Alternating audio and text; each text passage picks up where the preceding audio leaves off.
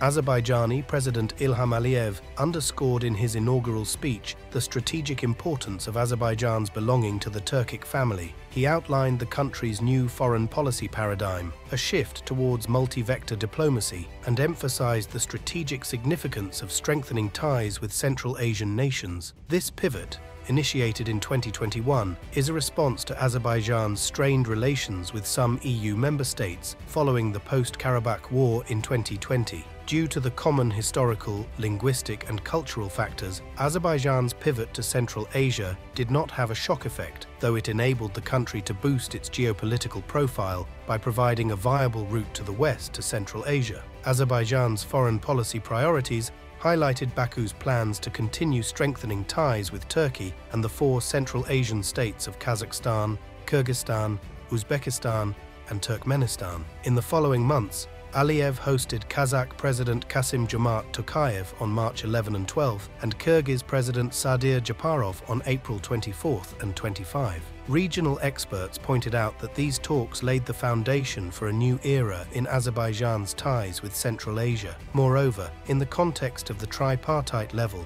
Azerbaijan played an important role in the creation of two important platforms, namely the Turkey-Azerbaijan-Kazakhstan and Turkey-Azerbaijan-Uzbekistan tripartite platforms. These platforms facilitated Azerbaijan's engagement with two important actors in Central Asia. The five Central Asian countries see Azerbaijan as a way to the outside world without going through Russia or China. They consider this relationship strategically important and are enthusiastic about welcoming Azerbaijan into their midst. For instance, According to Kazakh data from April 2023, Baku has invested about 306 million in Kazakhstan over 17 years, and Astana, in turn, has invested 95 million in the Azerbaijani economy. This mutual investment underscores the potential for economic cooperation. Turkmenistan is also seeking collaboration with Azerbaijan on gas exports, demonstrating the potential for mutually beneficial energy projects. Similarly, Uzbekistan is eager to jointly develop the Middle Corridor, a crucial route for accessing the European market for all Central Asian economies. Even the geographical distance between Azerbaijan and Tajikistan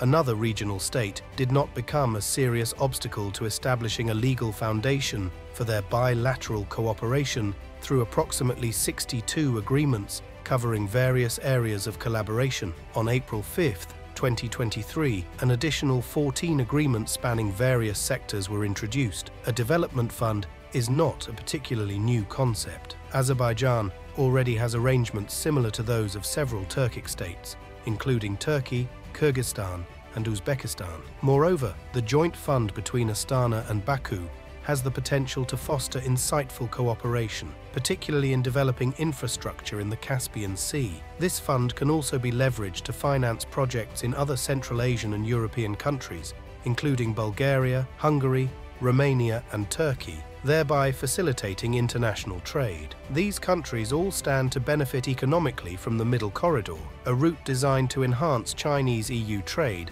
via the Caspian Basin, further highlighting Azerbaijan's growing influence in global affairs. Indeed, the enhanced partnership between the Central Asia region and Azerbaijan was made possible through the Organization of Turkic States. Consequently, member countries of the Organization of Turkic States focused on improving economic cooperation, transport connectivity, and food security. Baku's engagement with the Central Asian countries increases its geopolitical importance, not only for the regional powers, but also for the EU and China. The close engagement with the Central Asian region will pave the way for Azerbaijan to play a crucial role in navigating the regional politics linking to the West amid the ongoing Russo-Ukraine war.